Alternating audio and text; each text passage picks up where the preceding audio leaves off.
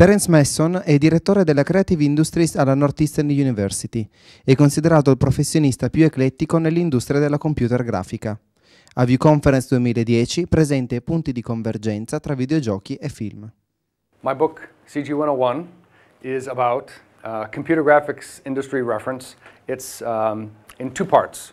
First part is separate chapters on the specialties, so like modeling, rendering, light, color, uh, compositing, animation, with the terms and the tools and the techniques and my tips on how to do those better. So that's one half. The other half is a history. So it's um, history of computer graphics from a, a company standpoint. So I, I, interviewed in person all the founders of the famous computer graphics companies and how they founded them, uh, the people that worked there, uh, all the earlier work. So that's what it's like. The main stages of my career, have been, um, I started college as computer science programming, hated it, too boring. Uh, then changed to fine art using the computer.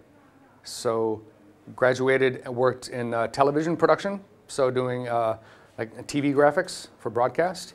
Um, then industrial light and magic, so uh, visual effects, live action, um, special effects, um, from live action and then uh, animation, so uh, feature animated movies like um, The Wild and Flushed Away and movies like that. Also, um, what we call a special venue. Like in my, my speech today, I talked about the Luxor Hotel. It's all uh, motion base, so um, wraparound screens like theme parks, like theme parks. Um, so you go to uh, Disney or, or, Universal Studios and you ride the rides, that kind of thing. Um, and then working a lot in broadcast. So like getting South Park started, broadcast animation. Um, and I transitioned from being an artist to a, a producer and a director. So um, consulting with big studios on how to build animation studios from scratch. So if they want to say, we want to build a company to produce this kind of work, uh, how would you do that? How, how to optimize it? What kind of teams to build? That kind of thing. Um, and then I got into education. Because as a director and a producer um, and a supervisor, you do a lot of mentoring. So you, you know, you're teaching the next generation of, of people, which is a lot like teaching. So uh, that's what I've been doing for about the last four years, full-time faculty teaching. The connection between video games and movie technology um, has really merged almost completely. It used to be two very different uh, pieces of software. Um, games used to be very uh, heavy pr pure programming from scratch, engines, and they would use a little bit of 3D graphics with like 3D Max um, movies was very different.